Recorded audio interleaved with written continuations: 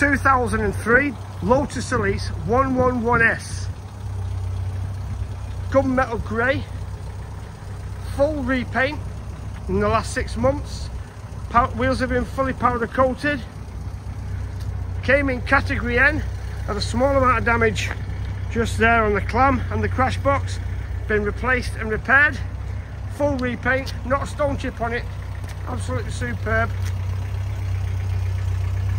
Got loads of carbon fibre on it, carbon fibre side, air scoops, carbon fibre door cards, carbon fibre sill plates, unmarked black leather. Absolutely superb. You could not find a cleaner car for the money. Impossible.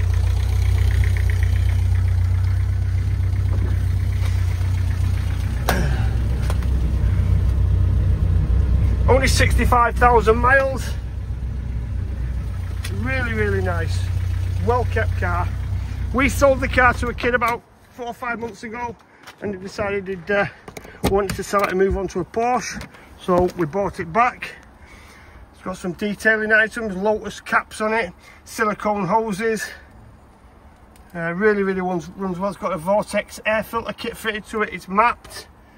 Um, it's been a really really well kept car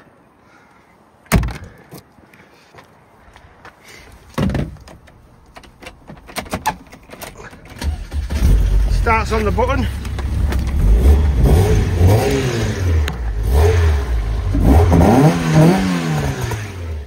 Nice pop back's got the aluminium 11 stalk kit.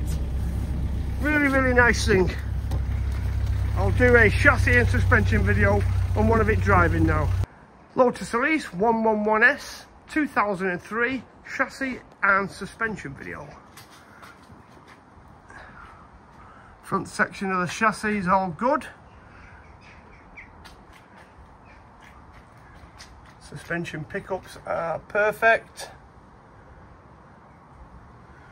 Same with the top ones. Car came in category N, non-structural. Had some damage on the crash box at the front, that's been replaced. Clam was damaged, that's been um, also replaced. Car's had a number of upgrades. It's got GAZ Gold adjustable shockers all the way around. Centre section of the chassis. Bit mucky but all good. Bit of water around where I've just jet washed the top. No damage at all. Not even any scrapes from sleeping piecemen. All the sills are good. No damage.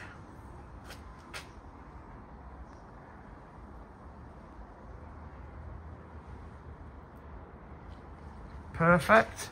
Moving on to the rear, passenger side rear suspension and chassis. Chassis is in perfect condition. All of the pickup points are good.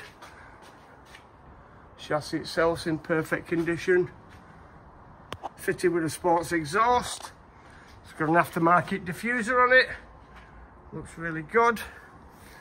Um, it's got a towing hook as well. It's had new um, tie rods on the back with rose jointed ends. It's had the four wheel alignment done. It's had brakes and discs all around. It's got wheel spacers. The alloy wheels have all been powder coated, not a mark on them. Uh, yeah, it's a really nice car.